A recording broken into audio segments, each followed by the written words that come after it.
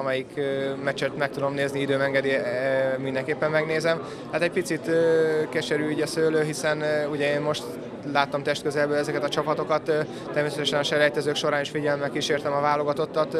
Sajnos nem mindig úgy sikerültek a, a mérkőzések, ahogy szerettük volna. Azt mondom, hogy ehhez kellett volna egy picit szerencsésebb sorsolás is, hiszen olyan csapatokkal kerültünk össze, amelyikből nagyon nehéz volt tovább jutni, holott ez csak egy, egy, egy, egy hajszálon múlt.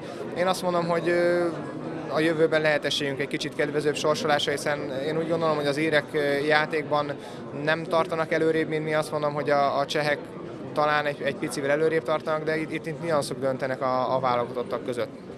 Nálad most ki a favorit így a kontinens tornán? A, a németeknek szurkolok, a Bayernnek szurkoltam a BL döntőben is, bár ez a vereség azt mondják, hogy szakemberek, hogy visszaveti majd a német csapatot, de hát bízom benne, hogy azért a végén odaérnek majd.